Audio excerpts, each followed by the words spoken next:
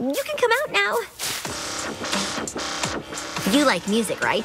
DJ Pon-3'd be the perfect friend for tonight's incredibly important dinner with Celestia. You know,